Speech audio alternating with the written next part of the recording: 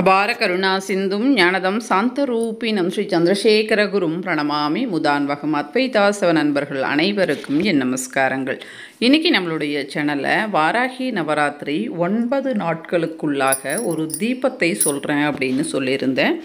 வாராகி கோவிலுக்கு போகிறேன் அங்கே போயிட்டு நான் எடுத்துகிட்டு வந்து உங்களுக்கு சொல்கிறேன் அப்படின்னு சொல்லியிருந்தேன். அங்கே வந்து வீடியோ எடுக்க அதாவது விடலை அவங்க. அதனால் ஒரே ஒரு கிளிப்பிங் மட்டும் உங்களுக்காக கஷ்டப்பட்டு எடுத்தேன்.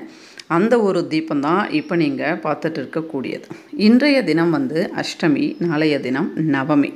வராகி நவராத்திரியினுடைய அதாவது பூரண பகுதிக்கு நாம் வந்து வந்துட்டோம்.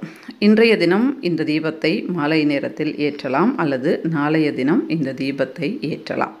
இத்தனை நாட்கள் வாராகி நவராத்திரி எங்களால் செய்ய முடியல அப்படின்னாலும் இன்றைய தினமோ முடியாதவர்கள் நாளைய தினம் கூட நீங்கள் வந்து வாராகி நவராத்திரியை வந்து செய்யலாம். ஒரே ஒரு நாளாவது செய்தால் கண்டிப்பாக இந்த ஒன்பது நாட்களும் செய்த புண்ணியம் அப்படின்றது வந்து நமக்கு வரும். அது என்ன தீபம் அப்படின்றத பார்க்கலாம். கருணைக்கிழங்கு அதாவது கருணை கிழங்கு அப்படின்னு சொல்லுவோம் இல்லையா பூமிக்கு அடியில் விளைந்தது. இந்த கருணையில் பார்த்திங்கன்னா இரண்டு வகை இருக்கும். பிடிக்கருணை அப்படின்னு ஒன்று இருக்கும்.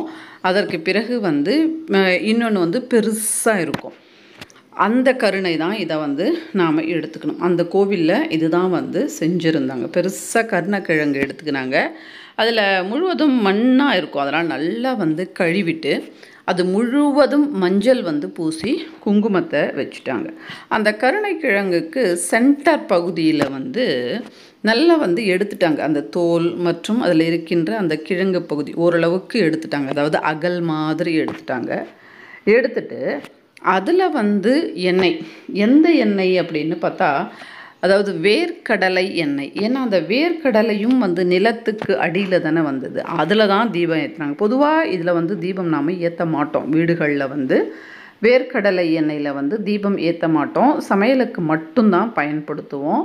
ஆனால் அங்கே வந்து வேர்க்கடலை எண்ணெயை விட்டு தீபம் ஏற்றினாங்க அது வந்து வாராகி அம்பாளுக்கு பிடித்தமானது அப்படின்னு சொன்னாங்க. இப்போ நீங்கள் கோவிலில் ஏற்றுறீங்கன்னா வேர்க்கடலை எண்ணெயில் ஏற்றுங்க வீட்டில் ஏற்றுறீங்க அப்படின்னா வாராகி நவராத்திரியில் வேர்க்கடலை எண்ணெயில் வந்து ஏற்றலாம் தவறு ஒன்றும் கிடையாது அப்படின்னு அந்த கோவில் ஐயர் சொன்னார். ஏன்னா பூமிக்கு அடியில் விளைந்தது அம்பாளுக்கு பிடிக்கும். அதிலிருந்து எண்ணெய் அது அந்த வேர்க்கடையில் வேர்க்கடலையினுடைய எக்ஸ்ட்ராக்ட் தானே அந்த எண்ணெய்.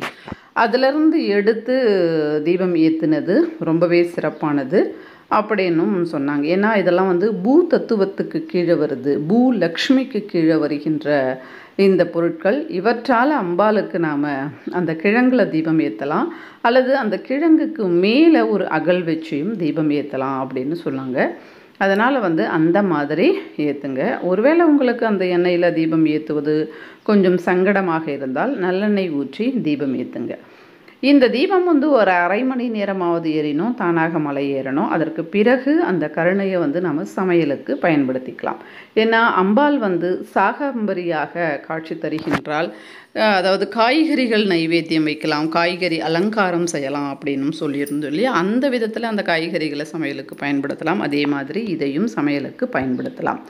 முடியல அவ்வளவு வந்து நாங்கள் செய்ய மாட்டோம். பெருசாக இருக்கும் இல்லையா கிழங்கு. அவ்வளத்தை நாங்கள் செய்ய மாட்டோம் அப்படின்னா பாதி சமையலுக்கு பயன்படுத்தி பாதி கோமாதாவிற்கு தரலாம். அல்லது முழுவதுமாகவே கோமாதாவிற்கு தரலாம். அல்லது இரண்டு நாட்களும் நாம் வந்து சமையல் செய்து சாப்பிடலாம் எந்த தவறும் கிடையாது.